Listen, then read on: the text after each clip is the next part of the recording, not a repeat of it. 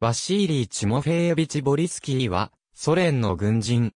戦車兵大将。モスクワ出身。1916年、ロシア帝国軍に召集され、第一次世界大戦に従軍。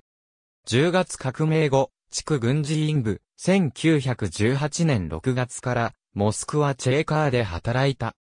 ロシア内戦時、連隊及び、師団の政治員、南部及び、南西戦線の政治員補佐を務め、レニーキン、コルチャーク、アタマン、アンネンコフの部隊と戦った。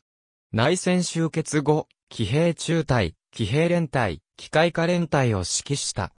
1926年、MV フルンゼ名将軍事アカデミー。1929年、高等指揮応員完全化課程。1930年、装甲戦車課程を修了。その後、労農赤軍機械化、自動車化局で働き、第6独立機械化旅団を指揮した。1939年5月、労農赤軍機械化、自動車化軍事アカデミー、戦列部隊担当学校長補佐。独ソ戦勃発とともに、第21軍司令官補佐、南西戦線自動車、装甲部隊担当司令官補佐を務めた。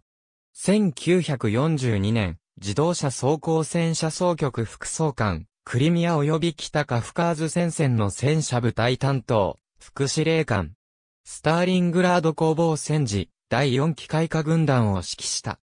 1943年6月から、赤軍装甲戦車、機械化部隊副司令官。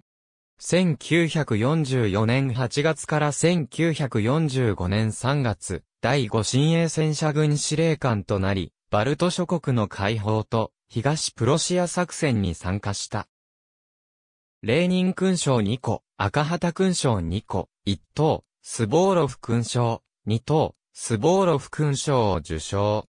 ありがとうございます。